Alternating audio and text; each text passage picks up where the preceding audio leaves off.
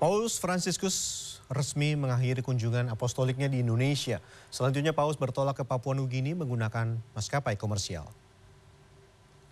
Paus Franciscus tiba di Bandara Soekarno-Hatta sekitar pukul 10 lewat 15 waktu Indonesia Barat. Di bandara, Paus disambut Menteri Agama Republik Indonesia Yakut Khalil Kumas dan Ketua Panitia Kunjungan Paus Ignatius Jonan. Sebelum masuk pesawat, Paus juga sempat memberkati dan membagikan rosario kepada kru di bandara. Setelah meninggalkan Indonesia, Paus Fransiskus akan melanjutkan perjalanan apostoliknya ke Papua Nugini, lalu ke Timor Leste dan Singapura.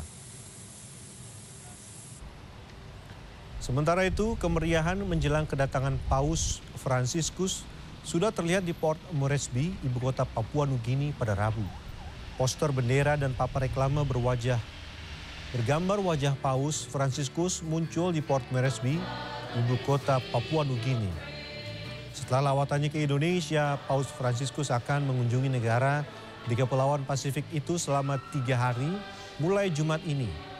Umat Katolik yang tergabung di paroki Saint Joseph Keuskupan Agung terbesar di Port Moresby sangat antusias menyambut kunjungan Paus.